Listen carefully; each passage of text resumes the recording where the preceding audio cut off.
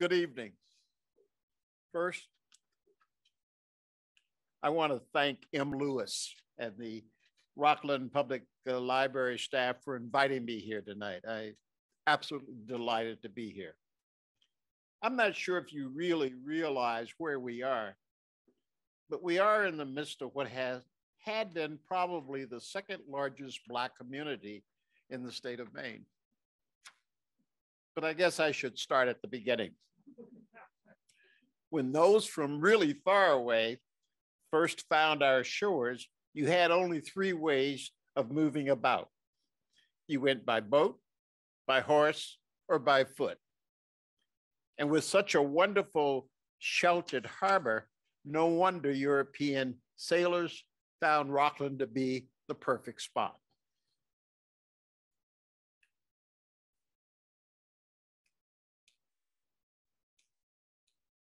Boy, this thing just been moving and moving, hasn't it? okay. Samuel Waldo, when Samuel Waldo settled in here, he called it the Shore Village. They harvested lumber, farmed, and fished. Eventually, they discovered a deep deposit of pure limestone that led to creating a lime industry, which took off in earnest after the Revolutionary War. In 1848, the town of East Thomaston separated from Thomaston and two years later changed its name to Rockland. It became a city in 1854 and later the county seat. Warren and Thomaston and South Thomaston also became their own communities after the Civil War there was another community that I haven't mentioned. I will now. Amos Peters was a Black man who had been born in 1737 as a slave. He fought against the British in the Revolutionary War and had part of his ear shot off during the conflict. According to one story, because of his service, Amos Peters gained his freedom and moved from Plymouth, Massachusetts to this area where he worked for General Henry Knox, the son-in-law of Samuel Waldo. Apparently, General Knox was hiring anyone who had served in the Revolutionary Army. When Amos Peters married a woman named Sarah, General Knox gave them some land in what became Warren. Their property, however, became known as Petersboro, although technically it was still part of Warren. Amos's wife, Sarah, came to Maine as a slave of a Captain Brown of Damariscotta. In 1783, he sold her to a Captain McIntyre who took her to Waldoboro. The next year, Sarah heard about Quock Walker, in a, in a 1783 landmark decision, the Massachusetts Supreme Court ruled in Quock Walker's favor, saying that all men are born free and equal. So since the District of Maine was part of Massachusetts, Sarah basically filed a lawsuit and was declared a free person. No wonder the descendants of Amos and Sarah Peters were ready to fight for freedom and to die. In the Civil War among the Company B of the 43rd Pennsylvania Colored Troops were Daniel Webster Peters, Dexter Peters, James Peters, Reuben Peters, and William Peters, all from the Petersboro section of Warren, Maine. Daniel Webster Peters died in Philadelphia. James and Reuben Peters were brothers and a cousin to Daniel Webster.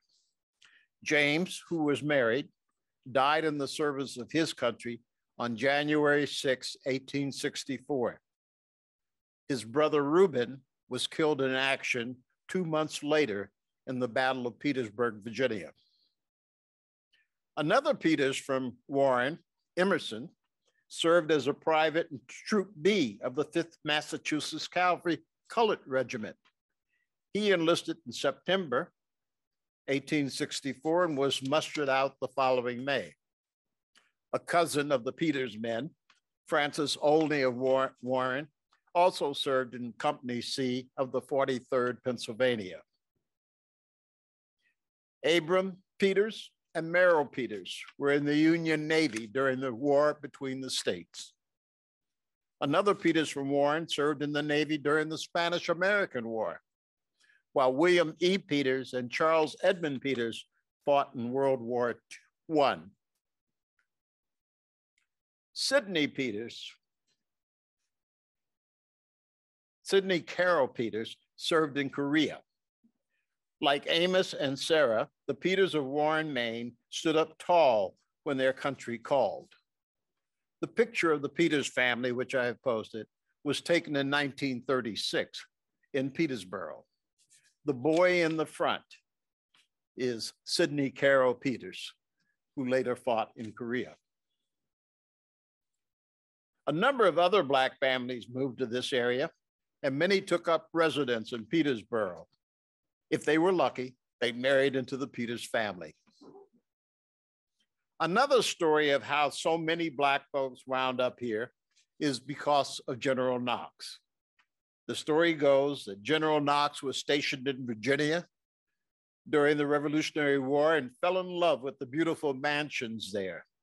When he returned home, he wrote to friends in the South saying he needed some Black folks to work for him in Maine. Apparently, many Blacks came north and General Knox paid them for their service. According to this version, so many people were on Knox's estate that he sent some of them to live in the settlement started by Amos and Sarah Peters.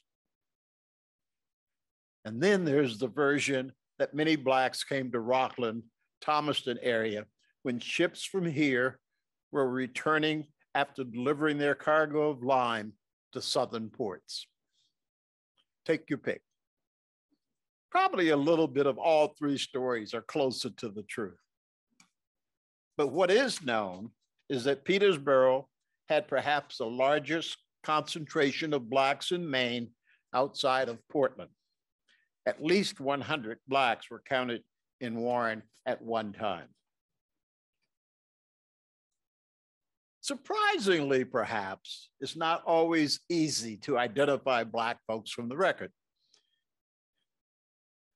Take a look at the family of Ezra and Clarissa Martin, who were living in Rockland in 1850. Both parents are listed as white.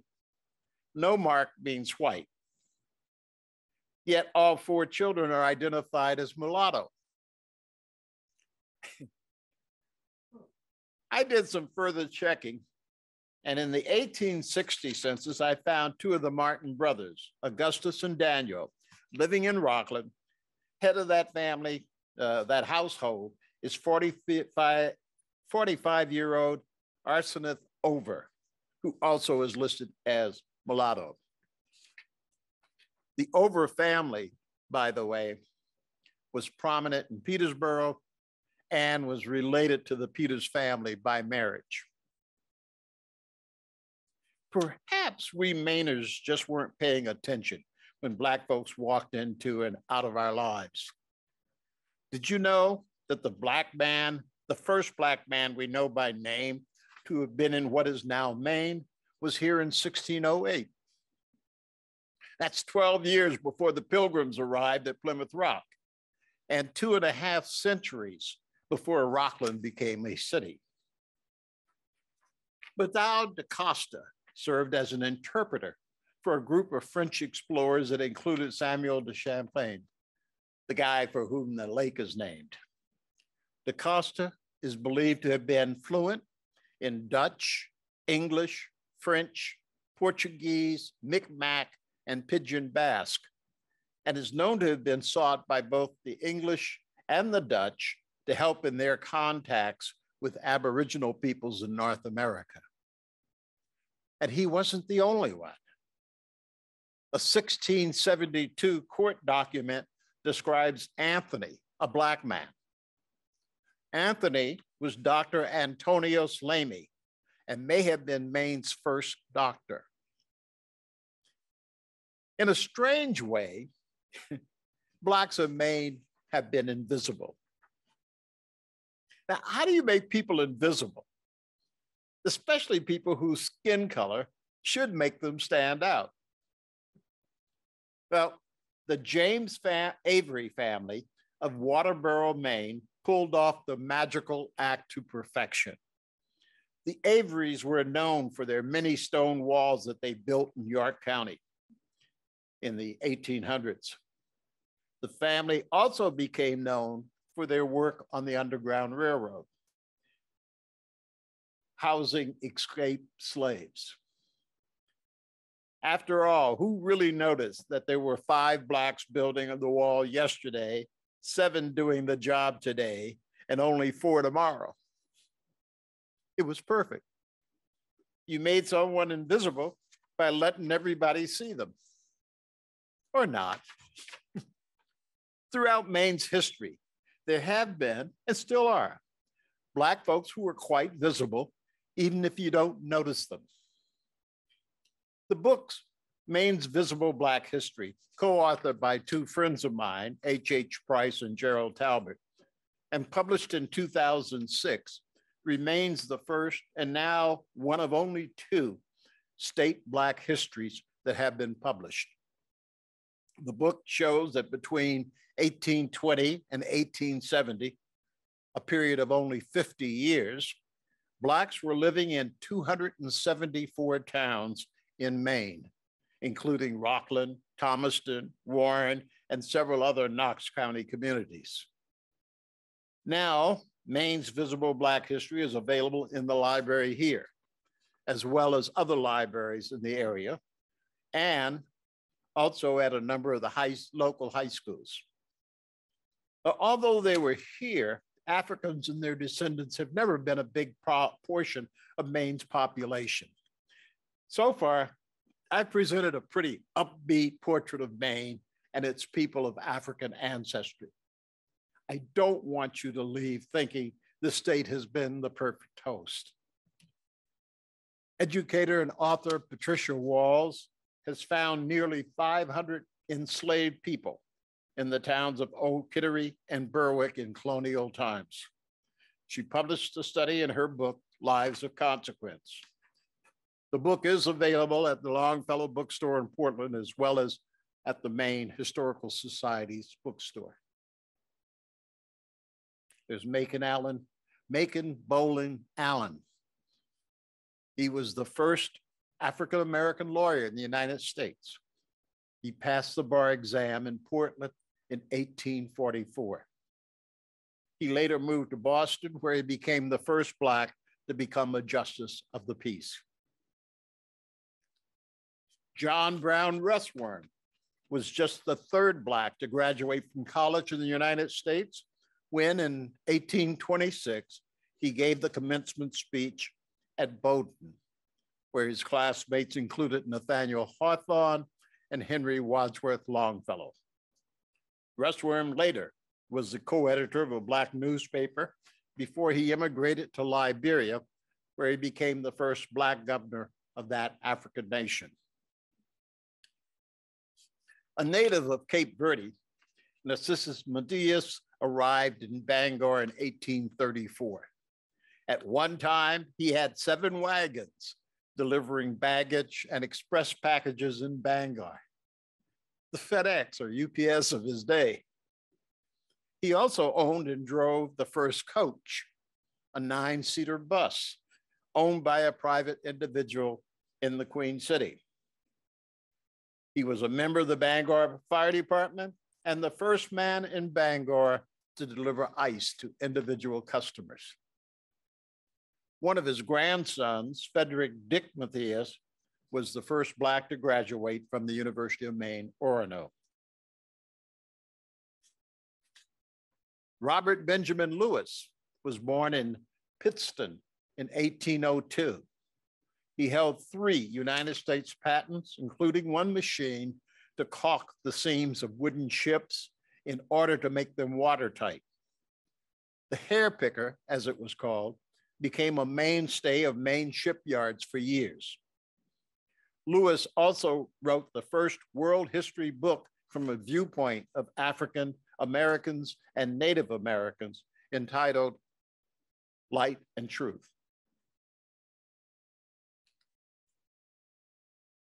Bishop James, James Augustine Healy was the oldest of 10 children born to Irishman Michael Healy and his slave wife, Mary Eliza. James was valedictorian of the first graduating class at Holy Cross College in 1849. And in 1875, he became the first African American Catholic bishop in the United States when Pope Pius IX named him to that post in Portland. Under Healy's administration, membership in the Catholic Church in his jurisdiction of Maine and New Hampshire doubled to about 100,000. The bishop's brother, Patrick Healy, was president of Georgetown University. When he retired from that post, he moved to Portland to help his brother bring more Mainers into the flock. Another brother, Michael Healy, quit school and became a sailor. In 1880, he was commissioned a third lieutenant by President Lincoln and became the first African American to command a US government ship. During the last two decades of the 19th century, Captain Healy was essentially the federal government's law enforcement presence in the Alaska Territory. In 1999, a Coast Guard research icebreaker, the USS, the US Coast Guard cutter Healy was named in his honor. And in 1903, their sister, Eliza Healy, became the first African American Mother Superior at a Catholic convent and school in St. Albans, Vermont. Born in Portland, William Wilberforce Ruby became a district fire chief in Portland and is credited with giving the first alarm of the Great Portland Fire on July 4, 1866. For those who don't really know that much about that fire, it was the largest fire in the United States until Mrs. Murphy's cow kicked over the Latin in Chicago. If you believe that, I I got a bridge in Brooklyn I'll sell. uh, William Ruby is also credited with using wet blankets to keep the Abyssinian meeting house from burning in the fire. William's brother, George Thompson Ruby, graduated from the first class at Portland High School to have both boys and girls.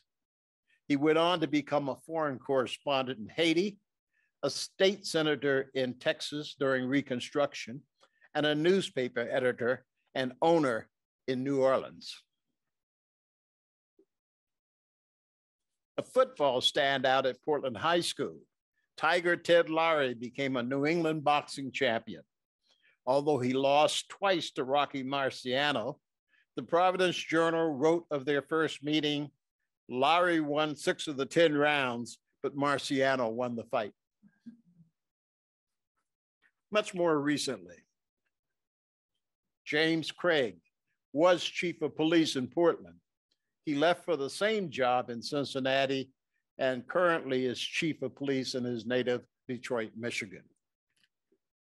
Emmanuel Caulk left his job in Philadelphia to become superintendent of schools in Portland. He moved to Lexington, Kentucky, where he was superintendent of the Fayette County Public Schools uh, before his untimely death. Sheila Hill Christian came to Portland from Richmond, Virginia to take the job of assistant city manager. When her boss left, she was named acting city manager, but decided not to take that job on a permanent basis. She then became assistant city manager in Cincinnati, Ohio. A tax expert at the Portland law firm Bernstein Shur, Willette Elder also served as a director of the Boys and Girls Clubs of Southern Maine, She moved on to a financial company in New York City. Danielle Conway was dean and professor of law at the University of Southern Maine Law School until she was named dean of Penn State's Dickinson Law School. She is considered a leading expert in public procurement law, entrepreneurship, and intellectual property law. Michael Greer was and is executive director of the Portland Ballet. I love that one. He came to Portland, Maine after spending several years in China, where his wife and both of their children were born. After spending several years on the East Coast, Michael currently is director of the Portland, Oregon Ballet. But it's not just long, long ago that people of color have contributed greatly to our state. Three internationally known artists have had roots in Maine. Daniel Minter lives in Portland. His work can be seen in the official logos of the Maine Freedom Trails, the Underground Railroad, and the Maine Interfaith Youth Alliance. Minter also has designed two Kwanzaa stamps for the United States Post Office and teaches illustration at the Maine College of Art.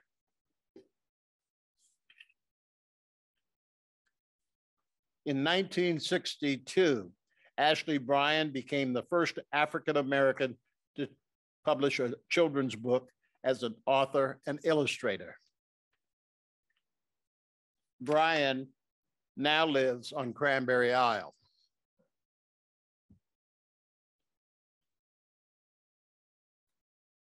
The late David Driskell was a recipient of the National Humanities Medal. Driskell first came to Maine in 1953 to attend the Skowhegan School of Painting and Sculpture. He bought a home in Falmouth and split his time between Maine and Maryland before he died of the coronavirus.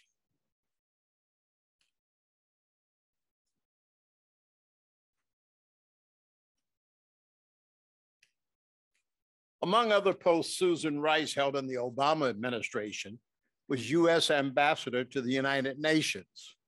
She is the daughter of Lois Dixon Rice, a native of Portland who helped persuade Congress to provide federal subsidies known as Pell Grants to tens of millions of college students. Barbara Nichols was born in Waterville and grew up in both Augusta and Portland. She became the first Black to be elected president of the American Nurses Association, and she is still the only non white to hold that position. Barbara went on to head up uh, an international company and is currently teaching nursing at the University of Wisconsin. Dr. Joyce Gibson is the Dean of USM's Lewiston Auburn campus, the school's top official in the LA area. She is the recipient of the Maryann Hartman Award, which honors Maine men who have contributed to the quality of our lives by their work in arts, politics, business, education, healthcare, or community service. Craig Hickman of Winthrop served three terms in the Maine House and is now a state senator.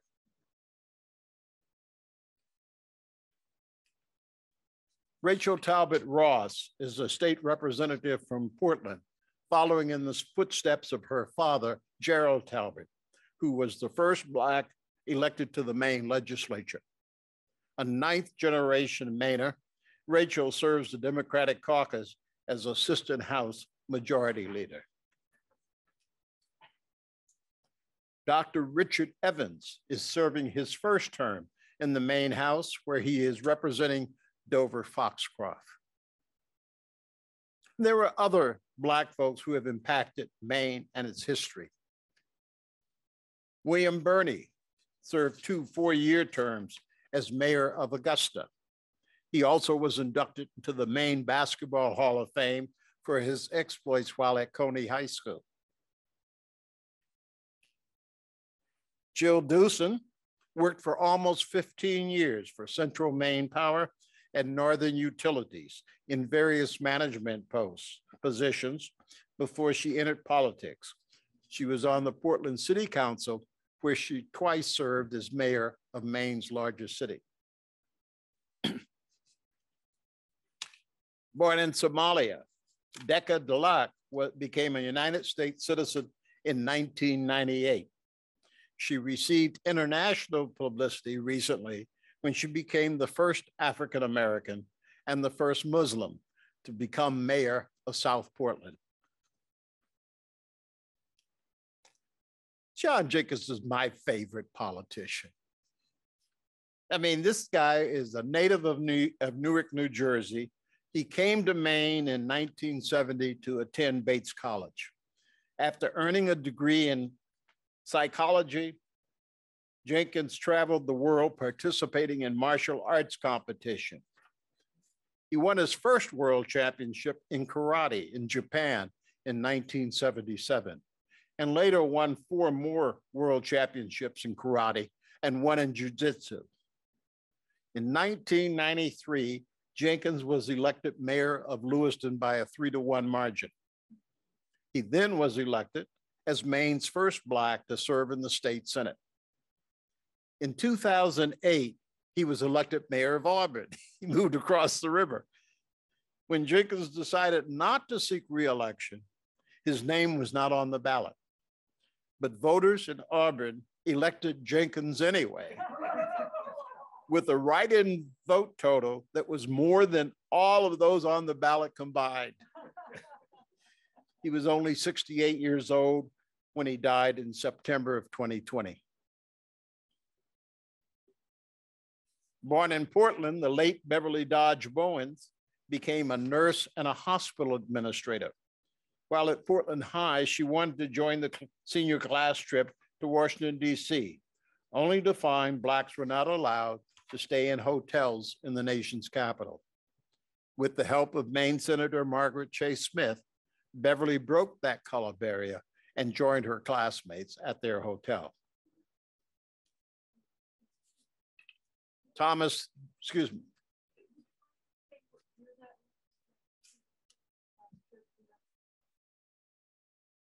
Nineteen fifty-two. I know that because she graduated in fifty-two. I graduated the next year. In fact, I actually, I took Beverly to her senior prom. Thomas Douglas moved to Maine in 2004 to practice law with a mid-sized firm in Portland. He now is a partner in his own law firm in Westbrook. Several years ago, he won a major case when the Maine Supreme Court ruled that national fraternities have a legal duty to prevent sexual misconduct by their members at chapter sponsored events. Tom also plays guitar and bass and performs with several musical groups. Shay Stewart Bouley lives on Peaks Island and is executive director of Community Change, Inc., a faith based nonprofit in Southern Maine. She also is a writer known for her blog titled Black Girl in Maine. Dr. Florence Edwards graduated from Portland High and attended the University of New England before going to dental school at Howard University in Washington, D.C. After a stint in the U.S. Army, Dr. Edwards returned to Portland, where she currently practices dentistry and serves on the board of Equality Maine. Then there are the newest African Americans who have arrived in Maine in more recent years. Pius Ali is the first African native to be elected to the Portland School Board and then to the Portland City Council. A native of Ghana, Ali is also founder and executive director of Maine Interfaith Youth Alliance, director and co-founder of the King Fellows, and has been involved in several other organizations, including Seeds of Peace. Although Angela Okafor earned a law degree in her native Nigeria and passed the bar exam in New York, she was unable to get a job in the legal field. So she washed dishes for a living. That was, excuse me, that was before she opened her own law practice, an international market, and a hair care business in Bangor. And yeah, she's now a member of the Bangor City Council. Then there's Lewiston's Safiya Khalid. When she was seven years old, Safiya and her family fled the war in Somalia. At the age of 14, she became an American citizen. 10 years later, Sophia became the first Somali American and the youngest person ever to be elected to the Lewiston City Council. Her roots are firmly in Lewiston, where she graduated from high school. Or as Sophia put it, quote, Lewiston is where I learned to write my name, end quote. A native of the Democratic Republic of the Congo, Claude Rwaganje has been elected to the Westbrook City Council. Claude also is the founder and executive director of Prosperity Maine in Portland. Born in Haiti, Tanya Jean Jacques was raised in Montreal, Canada, and came to the United States to complete her college degree in nursing. After her husband, who is a cardiologist, found a job in Hampden, Tanya ran for and was elected to the Hampden School Board. Of native of Darfur, Sudan, Ekhlas Ahmed resettled in Portland in 2005. Since then, she has graduated from high school with honors, earned her college degree in sociology. Besides teaching at Westbrook Middle School, she is vice president and co-founder of a nonprofit organization, Darfur Youth of Tomorrow.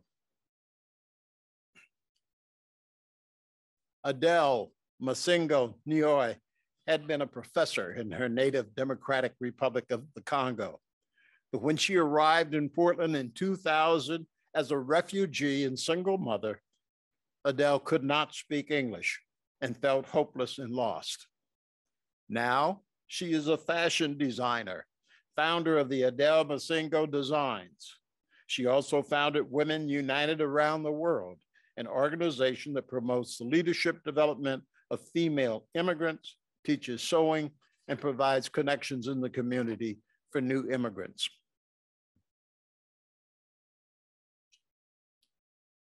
Because of discrimination, Americans never heard of the Tuskegee Airmen during World War II.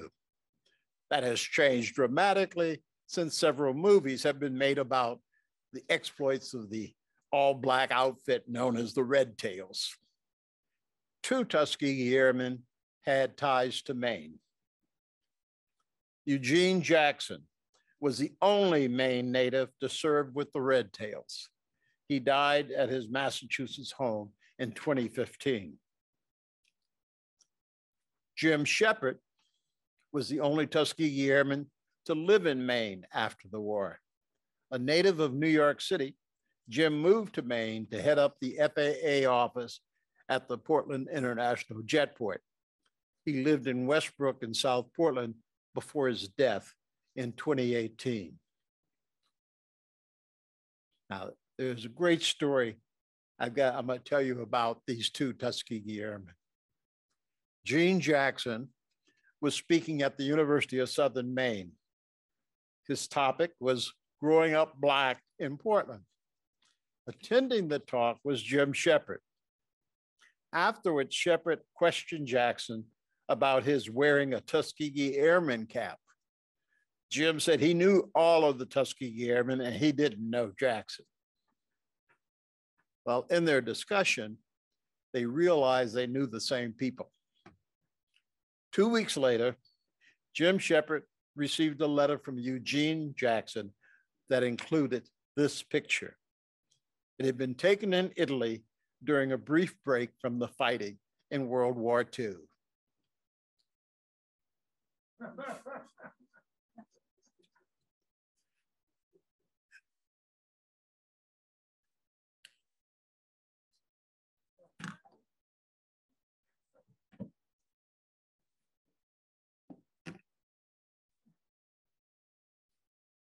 That's slow. I type faster than that. yes was still very upbeat. Thank you. Um, That's me. I'm, glad- I'm, I'm glad it's upbeat, but, but I wouldn't mind hearing if you're willing some, some not so upbeat episodes. Well, like I said, there was, I know there have been slaves throughout Maine. Um, and in some cases, for example, I found one woman who died in 1926 or 27 in Cape Elizabeth. And she was with this family. She was called a servant. And I, going back, I kept finding her. Her name kept changing. Just her, her Con, Constancia Brune was her original name, and it was called Constance. And I heard, I saw one place, Roostance, where they had misspelled. I traced her all the way back to the 1860 census with the same family. She's nine years old, a servant. She never left their employ. Maybe she was happy. I don't know. So, I mean, I, I can't tell. Um, in 1820 census, there's a family of 10 in Bristol listed as slaves. 1830, they're listed as free blacks. Uh, and, and you find this, I mean, you know, sometimes what is the difference? I made mention that General Knox was known for paying the blacks that worked for him. How much he paid him, we don't know. Um, I think the, as far as I, I can see, a difference might be the fact is, can you leave? And that we don't know. Yeah. Could Constance Brune, could she, oh, by the way, she was originally from Cuba. I don't know if I said that. Um, could she have gotten up and got a job next door or could she have found a guy and got married and left? Don't know. And it only is speculation on our part. Yeah, maybe she was happy. Maybe she wasn't. And so that, uh, I mean, I can tell you what I have found for facts. I can't tell you what their conditions were. This area was well known, by the way, for blacks for farming. A lot of black farmers in this area, but then there were a lot of farms here. That's the reason that the settlements, you had a great harbor, plus you had some fertile land for farming. That's the reason that these towns are here. Yes. I'm sorry. Uh, they eventually moved away or died. The, the photo I showed was of the cemetery, which is still there. That's the photo that's out there. Um, but the, you know, people ask me about why blacks move, and they move for the same thing that everybody moves for jobs. And so you find that blacks came here in the beginning because coast of Maine was huge during the day of sale of wooden ships. Once they started metal ships, iron ships, and using engines to propel them, Maine, all of Maine went, went away. But people don't realize how strong Maine was. There were 34 generals in the Civil War from the state of Maine. Two of them were Confederate generals. There were more generals in the Confederate Army from Maine than from Texas. Texas had one. So, but at, during that period, 1860, Maine had eight electoral votes. We've got four now. That shows you how, how, how powerful we were. There's a reason that our motto was Dirigo, I lead. Or you've also heard, as Maine goes, so, so goes the nation. Because we were quite powerful at one point. We were not vacation land. People came here to work. and once we didn't have the shipping anymore, Portland, by the way, was one day closer to Europe than Boston. Even today, Portland has more tonnage pass through the harbor than Boston does. People don't realize that. We're at one point, we were the fourth largest oil port on the Atlantic seaboard. But once that left, the shipbuilding left and the line business left.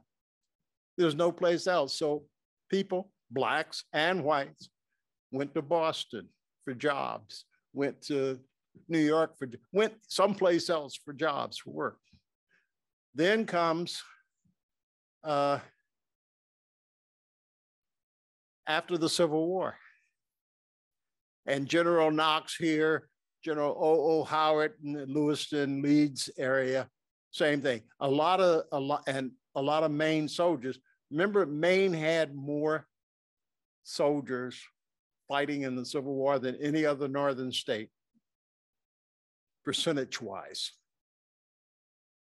When they came home, a lot of them brought blacks with them. Why? I can't tell you. But a lot of them did. We know that General Knox wanted, you know, he saw Montpelier in Virginia and he, with all those blacks around, I guess that's what he wanted here. Um, but they came up, blacks came up right after the Civil War, a lot of them. Then after uh, jobs were no longer available, they left. And whites left. The same thing happened World War II.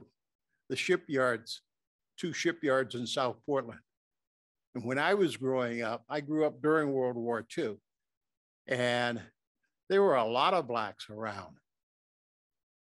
As soon as the shipyard closed, there were no jobs. They moved away. And that's what I'm sure what happened in Peterborough. I mean, not everybody wants to be down on the farm. and so, you know, you go other places, see other things, especially with the, the Peters they traveled, you know, they were up and going.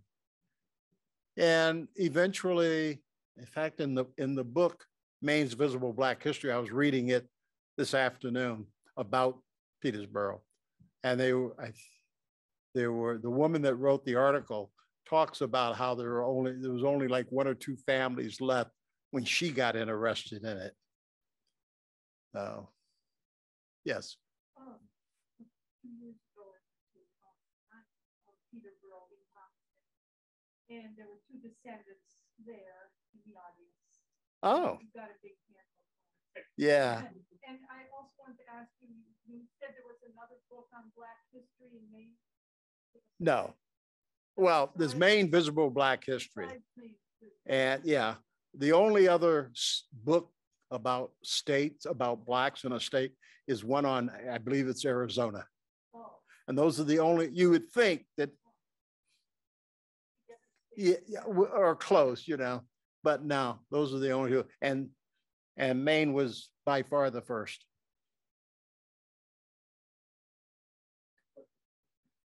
Have a couple from the Zoom audience. Um, let's. Uh, one asks, there seems to be have been a fair number of Negro islands close to shore along the Maine coast. Many changing their names now, but on older maps.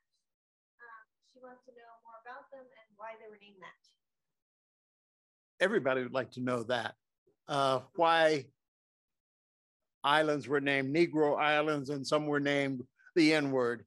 Um, Gerald Talbot, who was the first Black to be elected to the state legislature, and whose daughter, uh, Rachel Talbot Ross, is in there now, uh, got a law passed to get rid of those names as well as those like Squaw Mountain, what were considered uh, derogatory names for Native Americans.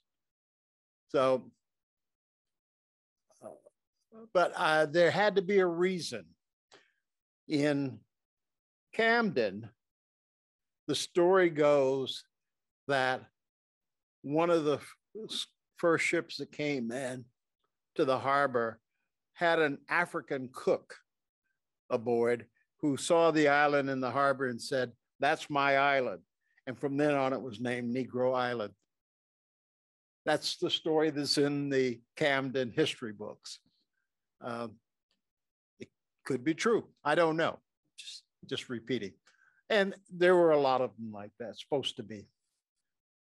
I noticed that uh, Dorothy Simpson in the book Maine Islands, one of the first books I read about Maine that got me interested, she talks about Monhegan Island and the various languages that are, had been, that if Monhegan Island could speak, it would speak in all of these various languages of fishermen that have stopped there.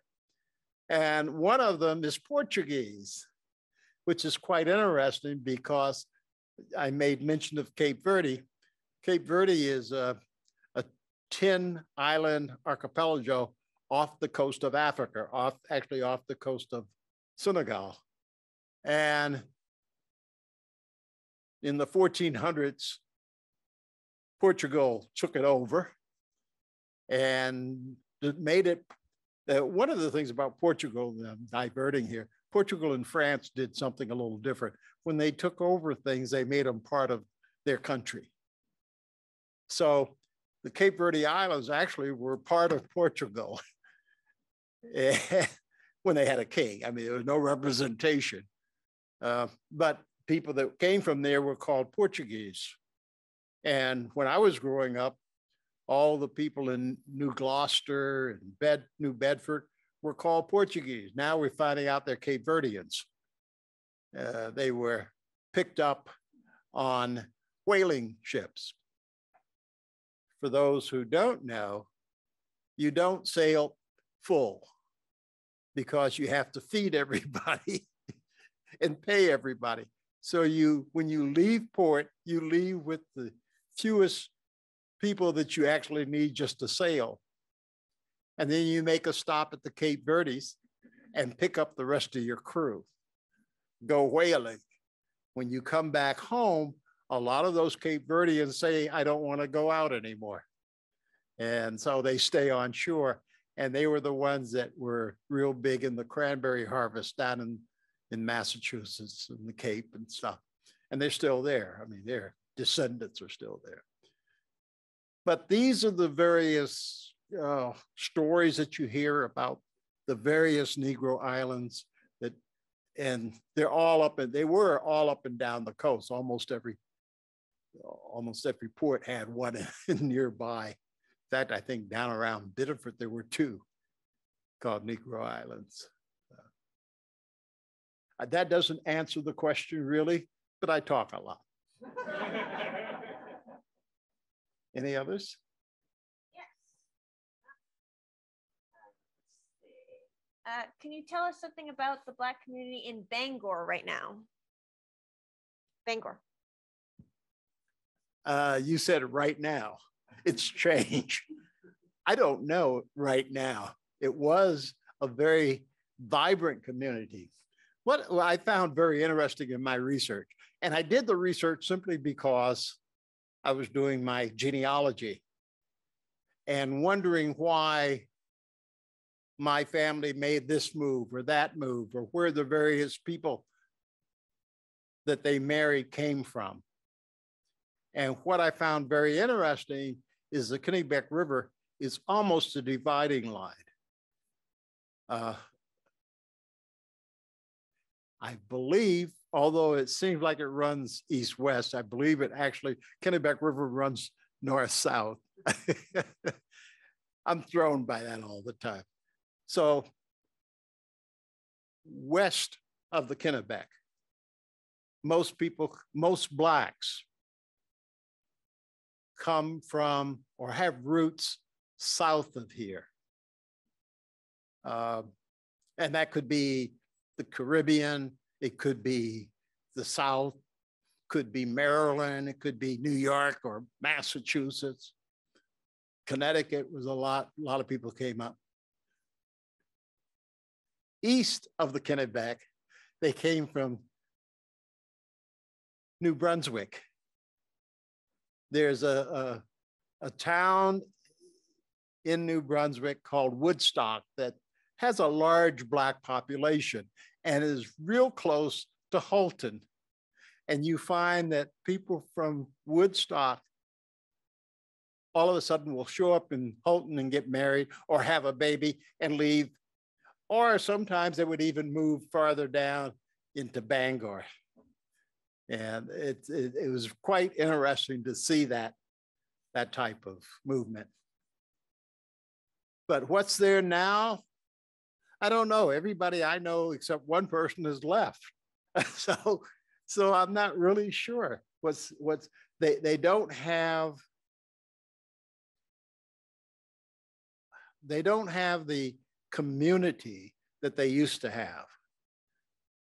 Now I I don't I don't want to say that's because there are fewer blacks there because I don't know, but it would seem like it. Yes. The status of that Abyssinian? The Abyssinian just got, if I read correctly, just got a, a huge donation that's going to allow them to finish. Uh, I forget what it was or how much. I'm to have to find that out. It's been a while. Uh, I have a lot of connections to the Abyssinian. And again, these are things I did not know until I started looking at my family and other things. Uh, my five time grandfather was Christopher Christian Manuel. You heard me talk about the rubies. Christo, Christopher Christian Manuel's wife was Sophia Ruby. So that's my line too. And that's the group that came out of New Gloucester that I had made mention about. Uh, but in 1828, Christopher Christian Emanuel and Reuben Ruby, uh, brothers, brother-in-laws, and four other black men, uh, created an organization, got approval from the state and built the Abyssinian church.